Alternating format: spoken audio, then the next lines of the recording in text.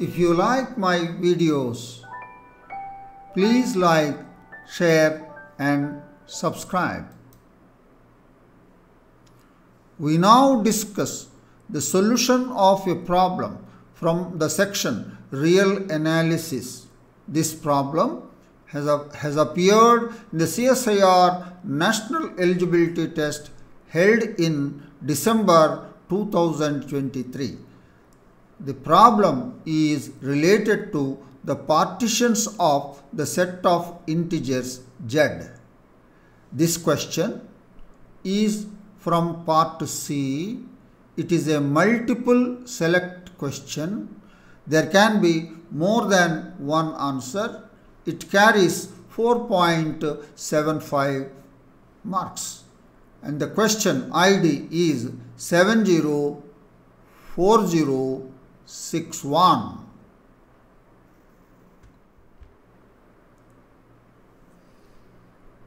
The given problem is let an n greater than or equal to 1 be a collection of non-empty subsets of Z such that an intersection am is equal to is phi the empty set for m not equal to n if z is equal to the union of an where the union runs on n greater than or equal to 1 then which of the following are necessarily true?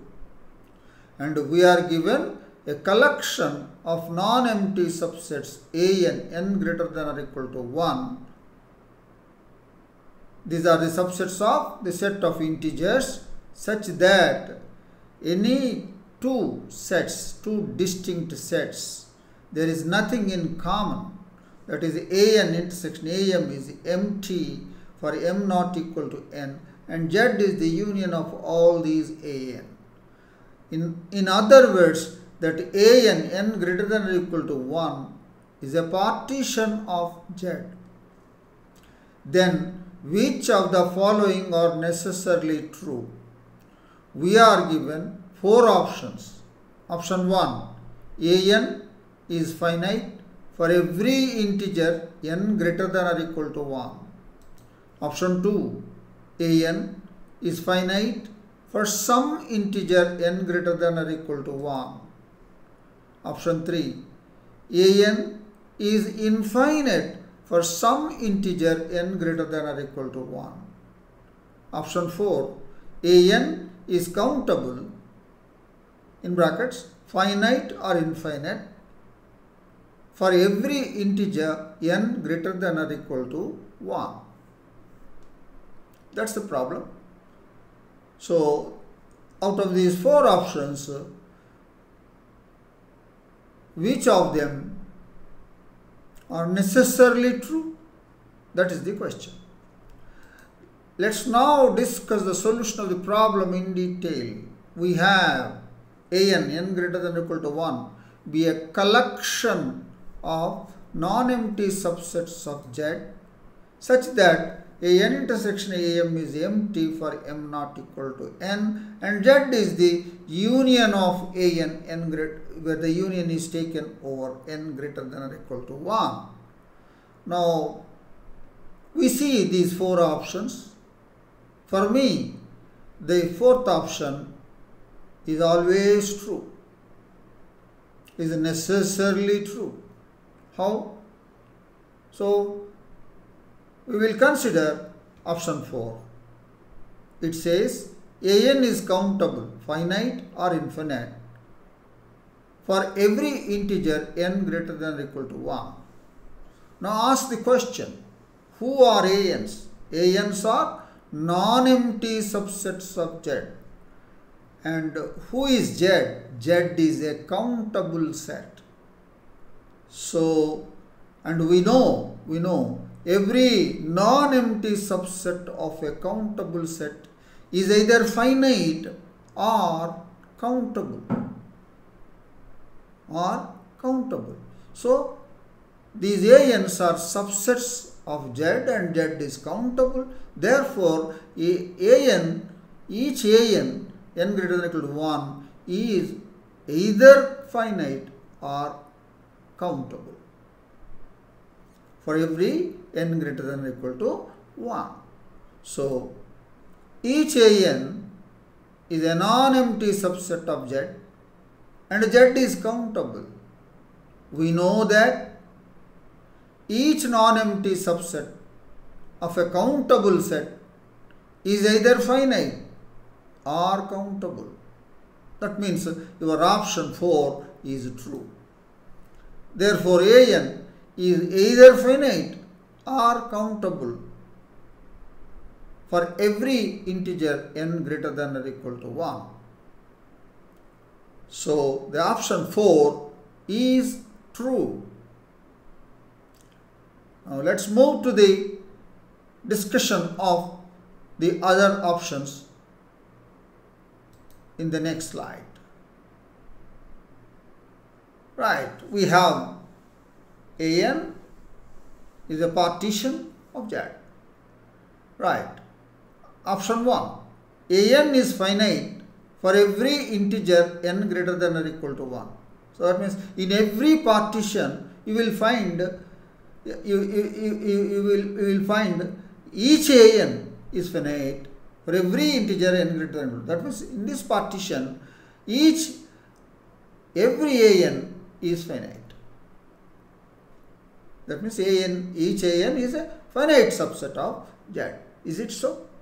If it is if it is not, you show a partition, a partition in which an is not finite, is not finite, that means it is infinite for some n greater than or equal to 1. So, for that define a1 is equal to 0, 1, 2, 3, so on so forth. Right. That means it is an infinite subset. an is equal to the set consisting of minus of n minus 1 singleton set singleton set consisting of minus n minus 1 n is equal to 2 3 so on so forth a1 is as it is a2 is singleton minus 1 a3 is singleton minus 2 a4 is singleton minus 3 a5 is singleton minus 4 etc so each is uh, not empty and they are pairwise disjoint, the union is the whole object. But is it is an is finite for every n greater than or equal to 1? No. So an is finite for every n greater than or equal to 2 is it is correct, but a1 is infinite. But a1 is infinite. We see that each an is not empty and they are pairwise disjoint and their union is the whole of the Z. Observe that each an, n greater than or equal to 2 is finite, but a1 is infinite. Therefore, therefore, an is finite for every integer n greater than or equal to 1 is not true. Thus, the option 1 is not true. Right. So far, option 4 is true. Now let's move to the next option, option 3. an is infinite for some integer n greater than or equal to 1. So now get me a partition in which every every an is finite. There is no infinite set at all. Suppose you bring such an example of a partition, then Option 3 is not true. Define an is equal to the singleton set minus of n minus 1 by 2 when n is odd and an is the singleton set consisting of n by 2 if n is even. Right? Right? So, now you will have a1, 1 is odd. So, minus 1 minus 1 by 2, 0. A2, 2 is even, 2 by 2, singleton, 1. A3, 3 is odd, minus 3 minus 1 by 2. that is minus 1. n is 4. n is 4, 4 is even. Singleton 4 by 2, that is 2. And A5, A6, so on so forth. So each is not empty and they are pairwise disjoint and their union is the whole of the Z. Therefore, it forms a partition where every an is finite and you do not find any an which is infinite in this partition. Therefore, our option 3 is not true. So that is the status for option 3. So far, option 4 is only true. We go to the last option left over that is 2, option 2. an is finite for some integer n greater than or equal to 1. If this, this can be, see, it may not, it, if it is not true, if it is not true, then you have to show an example where every an is infinite. Right. For this, we have constructed like this. A1 is minus n, n belongs to n, union the singleton 0. That means it is the set consisting of all negative integers and 0. And A2 is the set of all 2n minus 1, n belongs to n. That means the set of all odd positive integers 1, 3, 5, 7. And uh, A, it is defined further A2 plus k is equal to 2 power k A2. K takes the values 1, 2, 3. And uh, now I will tell you what happens when k is equal to 1 then you will get a3 is equal to 2 into a2 so a3 is 2 into a2 that means 2 into a2 means 1 3 5 7 2 into 1 2 2 3s are 6 2 5s are 10 2 7s are 14 and k is equal to 2 a4 a2 plus 2 a4 is equal to 2 square a2 that is 4a2 so 4a2 is 4 4 3s are 12 4 5s are 20 4 7s are 28 and k is equal to 3 a5 a5 is 2 cube into a2 that is 8 times 8 ones are 8 8 3s are 24 8 5s are 40 8 7s are 56 so on and so forth.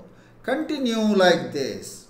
And find out now an n greater than or equal to 1 each one is an infinite set it, which is non-empty and they are pairwise disjoint and the reunion is whole of the Z. So thus this is a partition that is this is a partition and in which uh, every an is infinite. There is no finite set in, in these ANs at all. So, AN is finite for some integer n greater than or equal to 1 is not true. Thus, the option 2 is not true. Not true. And uh, getting such an example is very difficult. But somehow we could catch hold of such an example. So that so the answer to this question is option 4 and that is the detailed discussion of the solution of this problem. It is definitely a good question. I am sure that you have understood the solution of this problem and uh, I wish you all the best. Thank you.